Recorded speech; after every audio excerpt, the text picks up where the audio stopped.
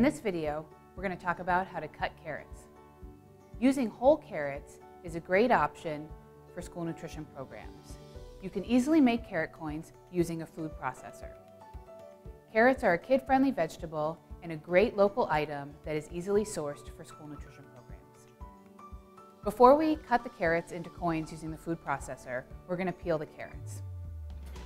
Take your peeler and you want to secure the carrot onto the cutting board with the end of the carrot.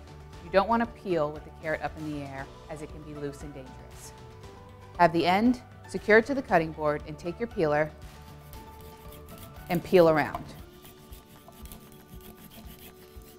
Note that you can go up and down with your peeler for easier peeling. There are two sharp sides to a peeler that you can use. Flip the carrot around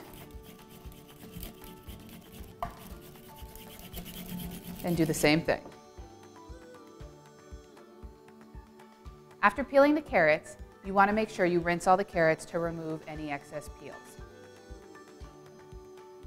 As you prepare a whole case of carrots, it's best to peel them all first, then take them all to the sink and wash them. Clearing out your cutting board after peeling to remove all peels and debris to ensure that you have a nice clean surface. At this point, we are going to cut the ends off the carrots. Here's a tip. To decrease food waste, make sure that you're cutting as little as you can of the top of the carrot off. You just want to remove the end piece. You do not want to remove very much carrot. Once you have the carrot trimmed up, now we're ready to move to the food processor to make our carrot coins. Make sure before using the food processor that you read the user manual and safety manual. Never stick your hand into the food processor.